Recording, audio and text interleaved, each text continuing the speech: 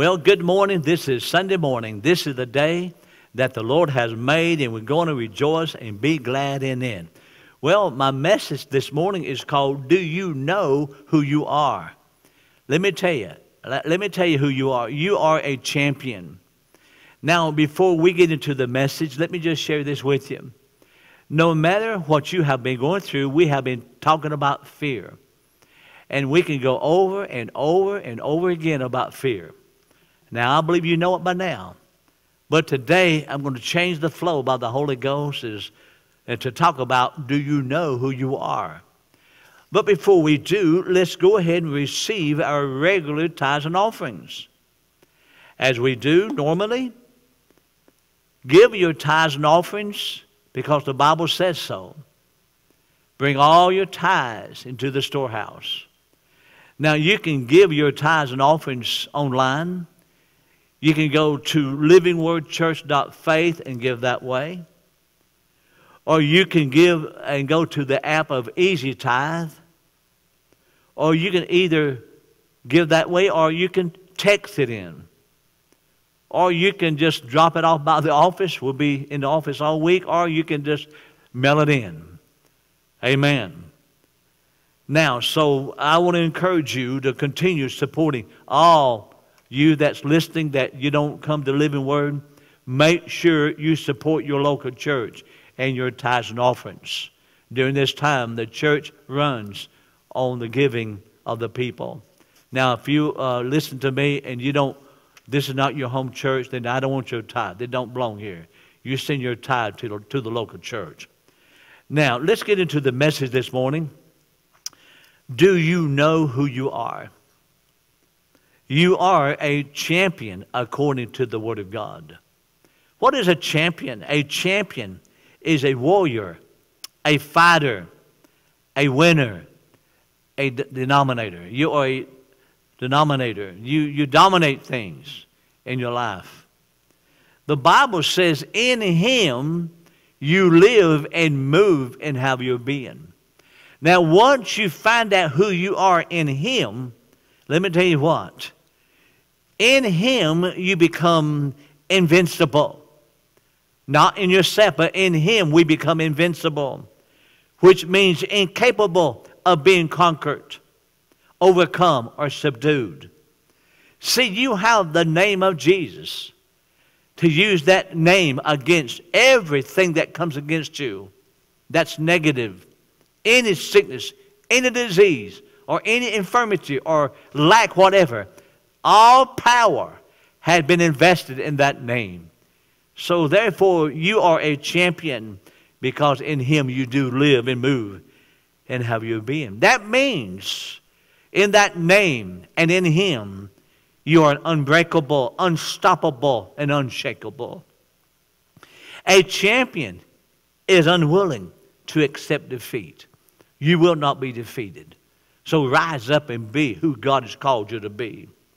Luke chapter 21, verse 19 says in the Message Bible, Keep your eyes open, hold, hold tight to your convictions. Give it all you got. Be resolute. What does it mean when he tells us to be resolute? It means to be bold. It means to be steady. It means to be determined. The Bible said the righteous is bold as a lion. You're bold, you're steady and you're determined. Therefore, 2 Corinthians chapter 2, verse 14. Now thanks be unto God, which always calls us to triumph in Christ. Always means all the time. All the time in Him you triumph. All the time in Him you take authority. Always in Him you live and move and have your being. See, always causes us to have success, to win, to have victory, and to come out on top. You know, 1 Timothy chapter 6 and verse 12. Fight the good fight of faith. A good fight is a fight that you win. A good fight is a fight that you win. Amen. Lay hold on eternal life whereunto thou art called and hast professed a good profession before many witnesses. I like what the Living Bible says. Fight on for God. Keep fighting the good fight of faith. Your biggest battle is in the play. The devil, he loves to play in your mind because that's the battleground. You win and lose battles in your mind every day. But don't let that devil defeat you in that thought life. You overcome him. Let him know that you are, in, you are a champion. Romans 8 37. Nay, in all these things we are more than conquerors through him that loved us. Too many people are defeated in life because of what they think. They think they can't make it if they won't make it. But when you start thinking you're an overcomer, you will be an overcomer. You can't be a champion unless you're convinced you are one. And the Bible says that you are. The message Bible says none, Paul says, none of this fazes us because Jesus loved us. In verse 38, I'm absolutely convinced that nothing, nothing living or dead, angelic or demonic, today or tomorrow, high or low, thinkable or unthinkable, absolutely nothing can get between us and God's love because of the way that Jesus, our Master, has embraced us. Don't look at yourself as a failure. God did not make you a failure. God made you the head and not the tail, above and not beneath. You are winners. You can overcome anything that comes against you because the greater one lives on the inside of you. And besides that, you have the Word of God, and you have the name of Jesus, and you have angels that's on your side. Man, you got it made, praise God, as a champion.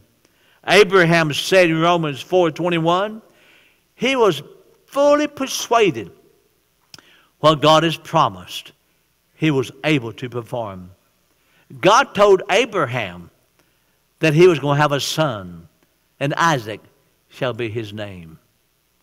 Abraham was fully persuaded what God has promised. The word, the word fully means he was free from the fear of contradiction. No matter what came against him, when the flesh says you can have a child, but when God's spoken, it is so. David told Goliath, in 1 Samuel 17 46. This day will the Lord deliver thee into my hands, and I will smite thee and take thy head from thee. So, what is your Goliath? Is it lack of finances? Come against it. What is your Goliath? Is it sickness and disease? Then come against it. What is your Goliath? Is it a bad report from the doctor? What is your mountain? Jesus says, Who shall, Whosoever shall say unto this mountain, Be thou removed. He didn't say talk about it. It says command it into the sea, and it will obey you. So Romans 8:31, what shall we then say to these things? If God be for us, who could be against us? You know, don't talk about your problems. Talk to them. Don't talk about what's going on. Speak against it. Why? Because you're a champion. You are a champion. Get out of the pity parties. You know, get out of the mud, uh, your mistakes and your failures. Go on with God and press in and be the champion that God has anointed you to be. Some people, all they talk about is the past. But Paul said, This one thing I do, forgetting those things which are behind, and I press forward. No one has a perfect past. No one has a perfect present. And no one has a perfect future. But you are in Him perfect. God looks at you under the blood. If you've asked God to forgive you, then He did. You've been washed in the blood of the Lamb. You have been cleansed. So let the past go. Don't let the devil play with your mind and remind you of your past. When he does, you remind him of his future. His future don't look too bright either. We are champions. You know, giving up is never an option for you. Don't give up. Lock the door of your past and, and, and, and throw away the keys. Let it go. Amen. Just let it go. It takes a decision to let it go. Don't live, live by the way you feel. Let it go. Let go of what? Let go of the past hurts, the past disappointments, failures, a bad marriage, broken relationships, offenses, abuses, and be what God has called you to be. You know why? Because God sees you in Him. See, when you look into the mirror at home, you look into the mirror and you see yourself the way you really are. You see yourself, ladies, with no makeup. You see yourself, the hair is all messed up. You need to brush your teeth and beautify yourself. And men, what do you see? Your hair is all messed up. Your beard's out. You say, Oh my God, I need help. Well, the good news is this Look into the perfect law of liberty. God sees you in Him. God sees you beautiful. God sees you a champion. God sees you above only, not beneath. Don't look on the natural. Do what you can to beautify yourself. But you know what? Inside, God has already made you beautiful. He's already glorified your spirit man. You are brand new in Him. Amen. So, this one thing I do, forgetting those things which are in the past you know, the good news is 1 John 4 4 says, Ye are of God, little children, and have overcome the world, because greater is in you than he that's in the world. You are of God. You are of God. I am of, in, in my flesh, I am of the Moss family. I was born a Moss, and I will always be a Moss. Oh, but thank God. In, that, in, in the Moss family, certain things will run in your family. Or in your family, things will run in your family. But now we are in the family of God. You know what runs in my family? Divine health, divine wisdom, kingship, all the goodness that God is. He's in me. So therefore, I will boast in the Lord who have delivered me from that stuff and put me into a new bloodline flows from the master's veins. Thank God. Amen. So I am of God. That means I'm a champion, and so are you.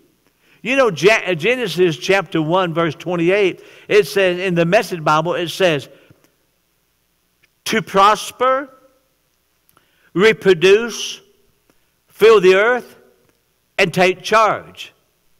Now, it says take charge. You are to take charge. You are a child of God. You are of Him. And He said, Behold, I give unto you power and authority. You have that God given authority to take charge, to reproduce, and to be that champion. And don't ever face your Goliath with your mouth shut. When you face your Goliath, open your mouth and speak the Word of God. For the Word of God is quick and powerful and sharper than any two edged sword. That means you take charge. Amen. Psalms 8 and verse 4, the New Living Translation says, You gave them charge of everything you made, putting all things under their authority. He's talking about you are a child of God. A lot of people don't know the how, this God given authority. You just under, need to understand, we need to understand that we have that God given authority. That's why we're champions. I'm not boasting in myself, I'm boasting in the Word of God. The Bible says boasting is excluded by the law of faith. So, who's in charge? When we really know who we are, when you know who you are. Maybe you've had a bad past life. Maybe you missed it. Maybe you have sinned. Maybe you had some uh, disappointments, and, and, and maybe you had a messed up life. But let me say this to you there is nothing that you can do to stop God from loving you. He loves you regardless of who you are. Now, He may not be pleased by, by the things you do, but He loves you. You can't, you can't stop Him from loving you. God so loved the world that He gave His only begotten Son. He didn't come to condemn you, He's made you in His likeness, He made you in His image. God said, Let, me, let us make man. And God made man, male and female. And therefore, to know what I am, if God made me, the Bible says God is a spirit. You are a spirit being, and that champion spirit is in you. That overcoming spirit is in you. It's in, in DNA. It's yours. You are inside. I like what Smith Wigglesworth said. He said, You are a thousand times bigger on the inside than you are on the outside. The Message Bible says, You put us in charge of your handicraft world. Repeated to us your Genesis charge. If you are a champion, let me ask you this question. If you are a champion, if you know who you are in Him, if you know who you are in Him. Now, if you don't know who you are in Him, then you can't be a champion. You must know who you in, you who you are. Now listen, find out who the Father is, what He has, and what He can do. Then you'll know who you are, and what you have, and what you can do. And the devil, you'll find out the devil is nothing he has nothing. He can do nothing to you because you know who you are in Him. And when you resist Him with that authority, He's got to flee. That's why the Bible says, resist the devil, he'll flee. He'll run as in terror because of the name of Jesus, because of the Spirit of God in you, because you are a champion. Now, when you know who you are, the devil will not be in charge of your health. You will. When you know who you are, the devil will not be in charge of your finances. You will. When you know who you are, the devil will not be in charge of your destiny. You will. When you know who you are, the devil will no longer be in charge of your marriage. You will when you know who you are in Him. The devil will not be in charge of your business, you will. Now, do you understand? In Him we live and move and have my being. I have what I have. I am what I am by the grace of God. You know, He will not be in charge of your life. You will. He will not be in charge of your family. You will when you know who you are. See, if we walk in the love of God and walk in this God given authority, we can overcome every circumstance, no matter. The Bible says, according to your faith, be unto you. When you know who you are in Him, He'll not be in charge of your dreams. You will. Because you have a heart of a champion. I want to encourage you this Sunday morning. Think differently. Think yourself as a champion because you are. If God says you're more than a conqueror, then you are. It may look like defeat. It may feel like defeat. It might smell like defeat, and others may tell you it's a defeat. But remember who you are. You are a champion. You are a champion. So, what does that tell me? I expect to win. I expect to walk in victory. I expect to dominate. I expect to overcome. Faith is expectancy. Romans, uh, Revelation 5.10, and hath made us unto our God kings and priests, and we shall reign on the earth. The Weymouth translation says, shall reign as kings. My, my, my, my, my. Glory be to God. Do you really know who you are? Do you know who you are? Verse 17 says, For if one man's offense death reigned by one, much more they which receive abundance of grace and of the gift of righteousness shall reign in life by one, Jesus Christ. It didn't say you shall be defeated in life, you shall reign in life. A king reigns. It means to have dominion. You have been chosen and anointed to reign in life. So, dear brothers and sisters, take your place. Rise up and be that champion. Who are you? Who are you? Look in the mirror and say, Who are you? And talk to yourself. I say, I know who I am. I am of God.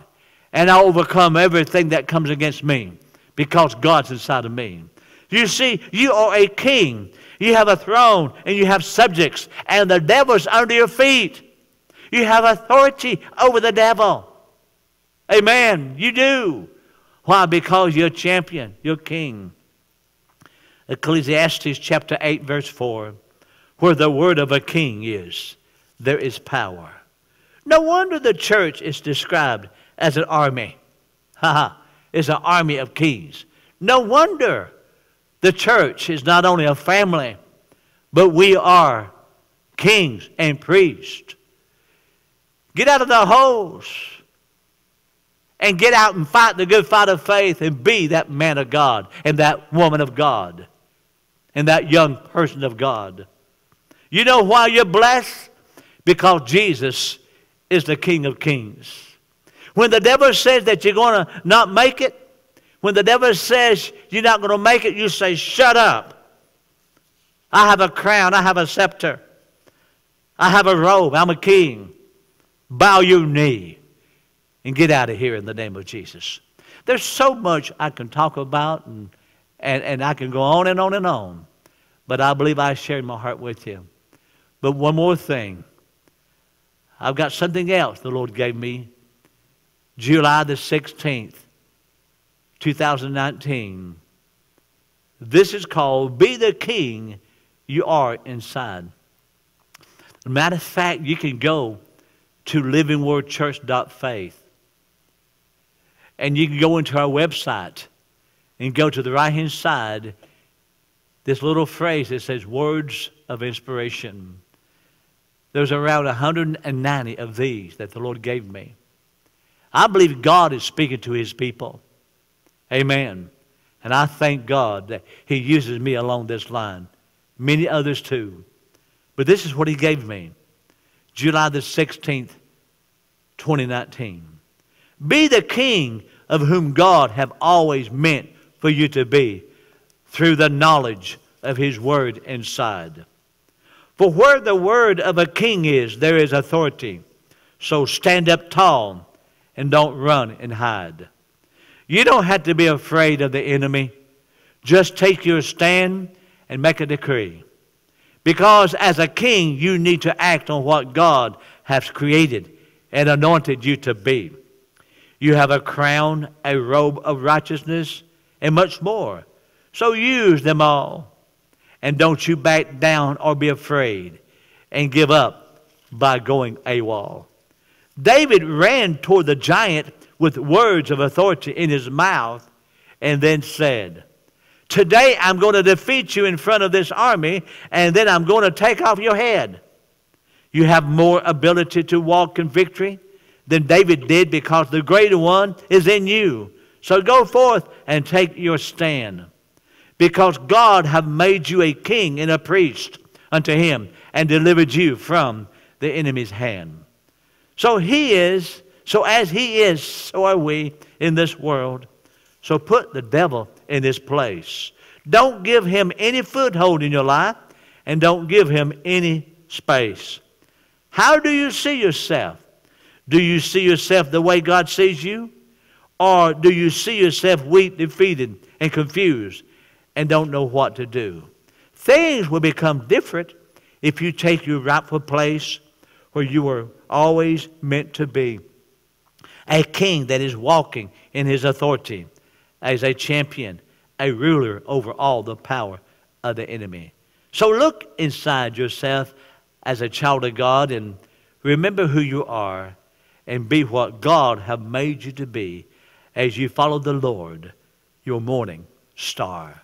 So, Father, in the name of Jesus, I pray for these people right now that you will enlighten their eyes, open the eyes of their understanding, show them revelation of who they are in you. And Father, we thank you that you said you watch over your word to perform it. And I thank you for this message. It will produce results. In Jesus' name, amen. So be it.